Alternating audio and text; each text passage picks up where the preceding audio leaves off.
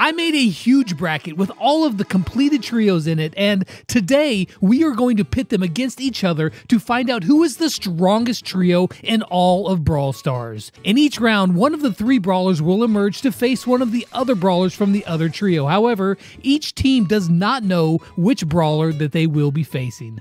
The first trio to win two of the three matchups will win and move on to the next round. Looking at the teams in bracket number one, we have the Star Force versus the superheroes up first. And speaking of superheroes, today's sponsor has just that. Marvel Strike Force is a squad based RPG where your favorite heroes and villains come together in a fight to save the Earth. There are over 180 characters to choose from that all have unique abilities and strengths, from heroes like the Hulk and Spider Man to villains like Thanos. Choose your team and charge into battle. There are many different modes to choose from as well, from PvP action in the arena, Alliance Wars, or the sprawling campaign with a great story. Marvel Strike Force has something for everyone. You can build whatever team you want, and on top of that, you can choose the style too with the costume shop where you can get new costumes and finish enemies off in style. There are daily quests, special challenges, in game events for new characters, and even fun holiday events that you can play through. Complete missions to earn shards and gear, which will unlock new heroes and level up the ones that you've already got. And the best part is the game is completely free to play on Android and iOS. So go check out the link in the description right now and download Marvel Strike Force. Big thanks to Marvel Strike Force for sponsoring today's video. I went with Surge in the first round because I felt like he had the best chance of getting a win against any of the three that came out, and Eve has the power, but those shots come out too slow, and this gives the superheroes their first win. Next up, I chose Max because the first round is basic interactions only. In the later rounds, the brawlers can use their gadgets and supers, and there, Meg will be useful, but until then, well, she kind of pathetic. So my opponent chose Colonel Ruffs, and in a very close match, Max won, but just barely. This means that the superheroes win two of the three and move on to face the winner of the Retropolis Trio versus the Old Town Trio. I was playing the Old Town Trio in this matchup, so I decided to choose my worst 1v1 brawler, hoping that my opponent would choose Bull, and he did. Now, Byron lost, of course, but my hope was that with the other team's best brawler out of the way, I would stand a chance. So, next up, I chose Piper. The enemy chose Crow, and well, this is where it all kind of ends for the Old Town Trio because Piper got smoked, and the Retropolis Trio moves on to face the superheroes. In this round, the Brawlers can now use their gadgets, but this time I was playing the Retropolis Trio and I chose the biggest hitter first, Bull. My opponent went with Surge, and even with putting Bull at max distance and Surge making him run around, my gadget gave me just enough health back to finish off the job. Next up, I had to choose between Crow and Bibi, and well, you know me. When the fight started, Max gadgeted, hoping to use those sneaky sneakers, but she died before it activated, giving the win to the Retropolis trio and advancing them to the semifinals to face the winner of our next bracket. Our first matchup in the second bracket is between the Arcade Trio versus the Botanist. Now, I chose 8 bit first, hoping that I would see Rosa on the other side as it was my only real chance of beating her. Instead, I saw Bea on the other side. While this did mean an easy win, the next matches were going to be close, and they were. Next up, Brock faced off against Rosa, and I thought that Brock might stand a chance with his brand new buff, and he came close, but in the end, he lost by a few hundred hit points. So the fate of these two teams rested on the shoulders of Rico and Sprout. They stood there, eyeing each other down, and when the shots started flying, the winner was decided by mere fractions of a second. Sprout came out on top, sending the botanists to the next round. Their opposition will either be the miners or the shamans. Let's find out who. Looking at the brawler matchups, to be honest, I didn't see what I was liking, so I decided to get the sure loss out of the way first and went with Dynamite. And sure enough, Bo emerged from the other side, and as expected, Mike was gone before you could say, Don't touch my canary. Hey, don't touch my canary. Now, to even have a chance of getting to round three, I had to pick Jacky, so I did, and she faced off against Nita. And this was an easy win, but now that means that the last matchup was between Carl and Leon, and I think we all know how this is going to end. Yeah. So the Shamans move on to face the Botanists in the quarterfinals. In this next round, once again, gadgets are able to be used, and I decided to start it off with Bo. While his gadget can only take one shot, it might be just enough, but Rosa came out on the other side and thwarted that plan as she pierced through all of it, and with the help of her gadget and star power, her health was just enough to beat out Bo. With that first loss, I needed to make the next choice count, so I went with Leon and I found Bea on the other side. Now, I tried to use his clone, but I kind of just ran up too fast. But in the end, it didn't matter because he still powered through it all for the win. So then there was one match left to decide who will move on to face the Retropolis trio in the semifinals, and the brawlers here were Nita versus Sprout. Now, Sprout took advantage of his star power and used the grass to activate that shield. This reduced Nita's damage and gave him just enough so that the botanist could move forward one more round. Now, on the other side of the bracket, we start off with the Pirates versus the Snowtel Trio. Once again, my strategy here was to get the guaranteed loss out of the way, so I went with Tick. And Tick, like the filthy pirate that he is, tried to cheat by using his damage gear, even though it was banned. And, well, it didn't matter because in the end, Mr. P easily defeated him. Next up, I had no other choice but to go with Darryl. Now, you think this would be an easy win since he's a tank, but since we have him start off at max distance and Gale with that slow,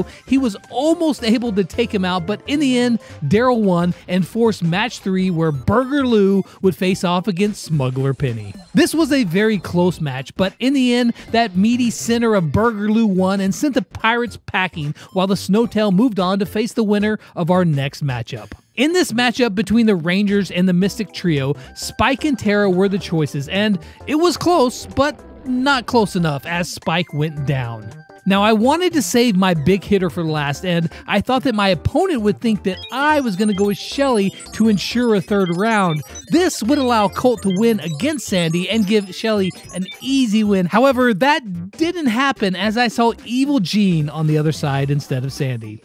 This match was actually really close, but Gene won by mere milliseconds, which gave the Mystic Trio the win and sent Shelly and her crew home. I played that one wrong.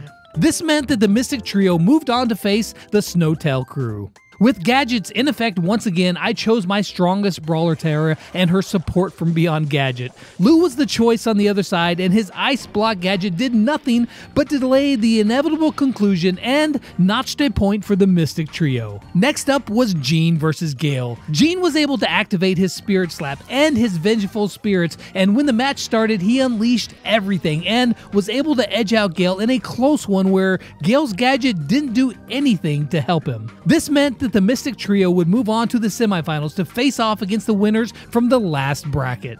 In this final bracket, we see some real powerhouses like the Gift Shop, the Junkers, and the Undead, but only one can move on to the semifinals, and we start this contest off with the Entertainers versus the Gift Shop Trio. In the first matchup, I chose Poco because I was saving El Primo. I ended up facing off against Colette, who in this first round cannot use her brand new and ridiculously strong gadget, so it ended up being very close, but Colette's shots travel faster than Poco's and finish finished him off just in time. Not wanting to make the same mistake I just did with Shelly, I chose El Primo knowing that he would most likely win. Spawning in, I saw Edgar on the other side of me, and when the bell rung, the fight ended up being way closer than I thought. And while El Primo won, it was way closer than expected. This meant that the last matchup between Amber and Griff would decide the winner, and it didn't take long for the entertainers to go home with some souvenirs as the gift shop trio advanced. Next up were the Junkers against the Undead. Starting off here, I chose my weakest brawler, hoping that my opponent would waste Frank on Jesse, but that turned out to backfire on me as he went with Emz. That ramp up damage didn't take long to send Jesse packing, which meant I had to choose right on my next pick. I chose Pam, thinking that I would see Frank, and I was right. Pam was the only chance that I had to win, and with almost 18,000 hit points on the field, the shots were let loose. And when the dust settled, Pam beat Frank and set me up nicely with a Nani versus Mortis matchup. Now I know that if Nani lands all of her shots on Mortis, she's going to win, but Mortis's dashes were able to dodge some of those shots, leading to a win for the Undead, sending them to face off against the formidable Gift Shop Trio. Now I was playing the Undead for this round and I chose what I thought would be a sure win with Frank. Since there was no need for stun prevention, I went with his irresistible attraction gadget and on the other side was Edgar. Even with that massive first damage, Edgar used his shield combined with fisticuffs, and this match went down to the very end as Edgar just kept healing. I mean, Frank won, but it wasn't by much. Next up, I chose Mortis and his survival shovel as I anticipated my opponent using Colette and her brand new strong gadget, and I was right, but even then, it was incredibly close, right up to the very end as Mortis pulled out an unlikely win, sending the Undead Trio to be the last semi-finalist ahead in the bracket to face off against the Mystic Trio. The first semifinal matchup to see who will go to the championship is between the Botanists and the Retropolis trio. In this round, supers will be allowed, and our first matchup was between Bull and Bea. Not wasting any time, Bull charges right through Bea's damage and with a few quick shots was able to finish her off no problem. Next up, naturally I chose Crow as not only is he my favorite brawler, but with his super and his gadget, he's quite deadly in 1v1 interactions. My opponent chose Sprout, which is a pretty bad matchup for him. Even with the shield and the hedge, Crow was able to jump over it all and take out Sprout, which means that the first two matches went to the Retropolis trio, winning that round and sending them into the championship match. Now, on the other side of the bracket, we have the Undead versus the Mystic Trio facing off. Starting off, I chose Tara with the hopes that I might be able to beat Frank, and, well, I was right. Frank trotted out on the other side. However, when the match started, Frank used his immunity and just chuckled at Tara Super, stunned her, and got one point on the side of the Undead Trio. The next matchup, I went with Sandy, hoping to be able to use his gadget to make the difference. Sandy Super did provide some healing, but it just wasn't enough to really do anything, and Gene could only watch as his team lost, and this means that the Undead Trio is going on to the championship to face off against the Retropolis Trio. So now, it all comes down to this the Retropolis Trio versus the Undead. Starting this off in style are the two perennial favorites. I chose Crow, and my opponent chose Mortis. Now, in a real game, this matchup can go either way depending on Crow's super, and in this match, it came down to just that. A perfectly timed super or, or just lucky, but whatever, allowed Crow to leap out of the way of Mortis's bats and land dead center on him, inflicting just enough damage to edge out the victory. My guess was that the next play for my opponent was going to be Frank, and I knew that I would lose to that stun no matter who I chose, so I chose Bibi as my sacrifice, and I was right. I mean, she put up a fight, but when the dust settled, Frank and his hammer, or uh, Christmas tree, stood victorious. So there was only one match to go, and one of the best 1v1 brawlers in the game was on my side Bull versus Emz. Now, I would love to hype this up as a close match, but yeah, it wasn't. Even with a super and a knockback, Bull easily won, and that means that the strongest trio in Brawl Stars is the Retropolis Trio.